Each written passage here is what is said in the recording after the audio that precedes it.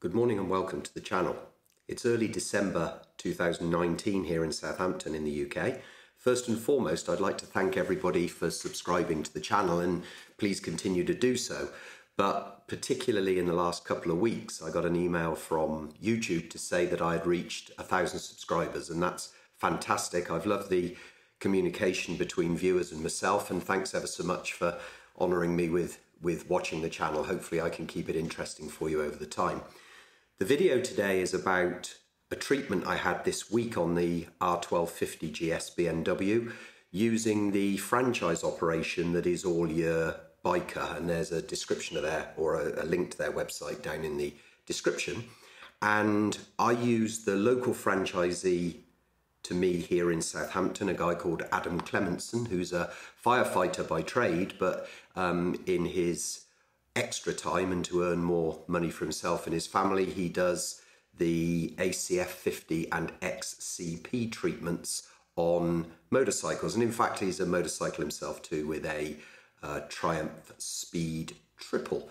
So all of that is good in itself. Do I recommend them? Um, after seeing Adam do the treatment, I highly recommend Adam.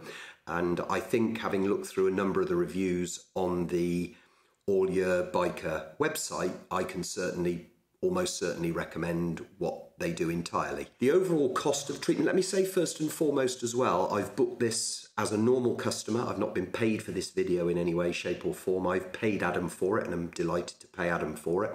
And it's in no way really a promotional video, but I learned of uh, Adam, particularly, an all year biker, uh, generally, as I went to Loomies Cafe about a year ago. Loomies is a cafe near us, pretty famous, I think, actually, and always a lot of bikers there on good biking days. And down here in Hampshire, and I came across a, a BMW R1250 Adventure, which looked brand new. And I said to the guy, "Oh, new bike," and then the registration gave away that it actually wasn't a new bike, and he'd been to Adam the day before and had his bike done. But I think we should point out that the main reason that they exist as all year biker is more about the treatments that they offer to help your bike stay certainly clean and just by being clean probably more operative throughout the the sort of well we'd say harsh UK winter. I think most people in harsher countries than this would argue but we certainly get a lot of salt on the roads which is very very bad as we know for any kind of metal um, whether that be exposed or treated it can cause all sorts of, uh, of angst they offer two treatments. One is an ACF 50 treatment, and many of you will be familiar with ACF 50. It was built for the aircraft industry and is used uh, extensively in the aircraft industry. It's a gloopy type of consistency, but uh, certainly from Adam's perspective, as we'll see in the video, he doesn't need to heat it in any way. But the other treatment is an XCP treatment. XCP is more like a light grease, which very much to go through a spray gun does need to be heated in the weather we certainly have had this week, which has been on or around freezing, to be applied to the bike. And the main difference Adam tells me between the two is ACF 50 is very much about protecting the bike from the occasional use that you may use as a as a biker through the winter. So, you know, I will take my bike out on a on a on a dry day in the winter, not on a wet day in the winter. However, with salt on the roads, as we all know, it will make the surface bring moisture out. Salt brings moisture out of whatever surface you, surface you apply it to. So no matter if it's a dry day, you'll go down roads that aren't particularly sunny and you will uh, they will appear to be at least damp. And that means that when you get back, you need to hose your bike off with just plain water normally. But the ACF 50 helps all of that process to not absorb any salt and holds it off the main surface of the metal. So pretty well you're guaranteed if you're a motorcyclist like me using it occasionally during the winter or even just for storage in damp conditions that your bike isn't going to deteriorate with that coating on.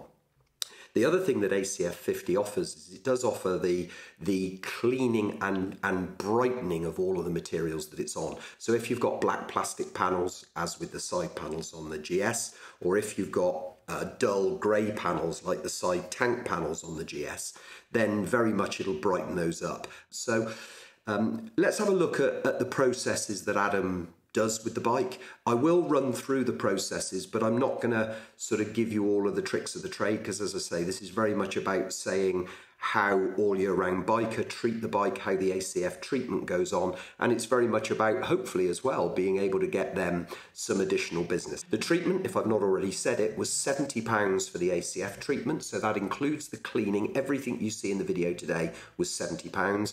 And I think if you have the XCP treatment, which is more about if you're using the bike for your for your living, you're commuting on the bike home and back, you're maybe riding the bike all day, couriers, those types of, of motorcyclists, or you are just a, a hardened tourer using your bike all, all, year round, then again, Adam would recommend the XCP treatment. It's, it's probably a better corrosion protection treatment, but as Adam says, it is more expensive, it's more difficult to apply, and it doesn't give the bike that sparkling sort of finish to it when it's finished, a little bit like you know you'll you'll see in this video.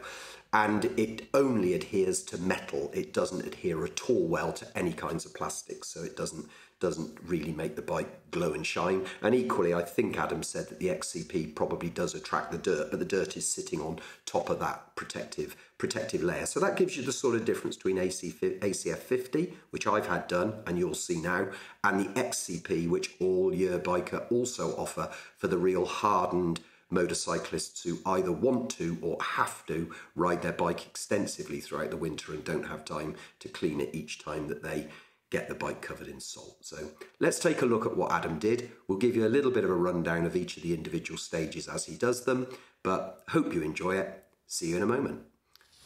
Okay, so firstly, Adam rinsed the bike off. Now, I know he's using a pressure washer for that, and indeed I use a pressure washer at home.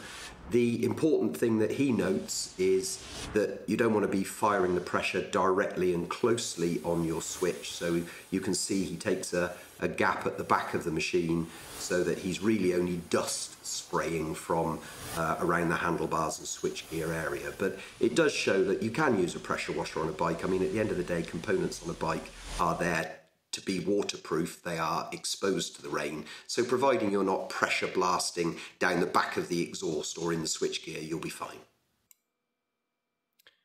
Next, Adam applies a degreaser. I'm led to believe that this degreaser is specially developed for all-year biker because obviously they have returning customers with bikes that have been previously treated with XCP or ACF 50. So this degreaser cuts through that previous application and you can see here that Adam is applying it to the wheels, to the engine, and basically everywhere, and making a pretty good job of getting any grease residues off the bike. Next, and to make sure he got those tar spots, I must admit every time I've cleaned the bike, I have had the tar spots on the back of, particularly on the back of the exhaust, particularly around the wheel, and particularly on the swinging arm and the shaft casing. And uh, Adam here uses a tar remover, and as you can see from the shaft drive here, it's very, very effective indeed. And I'm delighted that those have, uh, those have been removed. So, so this was a great part of the process. Okay, so this next bit is my favourite bit and probably most people's favourite bits, and that's the application of the traffic film remover. Again, it's a special traffic film remover developed for all year biker, which removes all of the previous treatments that may be on the bike. And as Adam says, the key to this is a thick foam, which is achieved by basically making sure that the mixture is correct and the correct nozzle is applied. Now, this footage is sped up as you can see, but what the foam actually does is as it deteriorates on the bike, it's actually the bubbles are actually agitating and removing a load of the dirt. So after that, it just relies on a very quick wash with the pressure washer, and that part of the job is effectively done. Now I've got to say I've got a Bruhl air dryer like this and it's probably one of the best things I bought. You'll be surprised that even if you allow the bike to dry, just how much is held in the radiators, held in the fins on the top of the boxer engine and all of those types of things. So again, a professional uses it. I'm pleased to see that I've actually got one as well. The one point Adam does make here is this is probably the lowest ebb of the bike because you're taking away the shine of the water you're, you're blowing all of it away and you're left with dull grey panels. And it's after that that we apply the ACF 50 and then buff it to a, to a really nice shine. Now here's the real reason that we came to see Adam and All Year Biker in the first place is to have the ACF 50 treatment. You'll see that Adam covers obviously the wheels, the tyres and the brakes separately. Uh, the seats have been removed because you don't want to be sliding around all over the seat. So basically, the rest of the bike is then covered with a full cloth. And the reason I suppose for this is because, as you'll see, Adam applies the ACF 50 with an HVLP, high volume, low pressure spray gun, and applies much more than you could possibly apply with a buddy bottle or with just wiping it with a rag. And it does really get everywhere. And indeed it's supposed to. He sprays it under the seat on all of the electrics, all across the switch gear, pretty much everywhere but he does it by gradually exposing various parts of the bike so he is controlled as to where he's actually putting it. Again, you'll see he doesn't put it on any of the coloured paintwork because he said there absolutely is no choice, no, no point, I beg your pardon.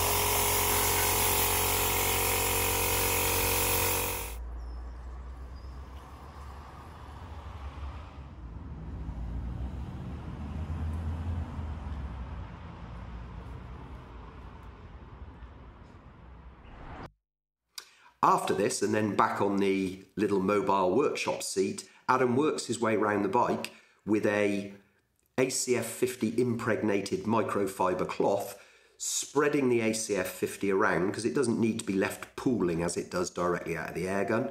And that then just applies a very thin film to the whole of the motorcycle and then a little bit of buffing with a, a cleaner cloth allows him to give the finish that he requires to the plastics and to those types of areas. Now, equally, he also applies some to the outside of the calipers, but is obviously very, very cautious to keep it off the disc and to keep it away from any of the brake pads. So, really, really good job.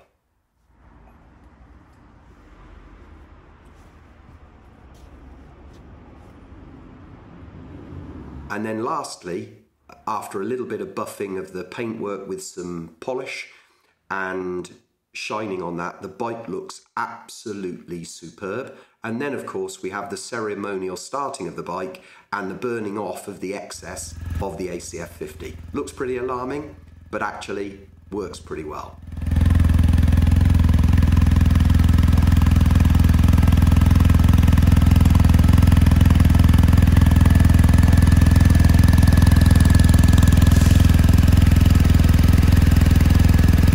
And with that all done, just look how she is. She really does look like she's just come out of the showroom. I got a grant, and I got to say, she was a pretty clean bike before she went in, but I reckon she's probably better now looking than she was when she came out of the dealership. And that's it, folks. So, thumbs up for Adam. And if you've liked this video, a thumbs up for me is, would be great as well. If you want to see more videos like this, be great if you could subscribe to the channel. So that's just a matter of pressing the subscribe button. And then if you want to be reminded when I do post something, hit the bell as well. And then any comments that you have would be superb. It is great to get feedback. It's given me some advice. I'm getting a Christmas present based on a few of the comments that I've had. So I'm learning just as much from you as I hope you're learning from me. We'll see you next time and thanks very much for watching.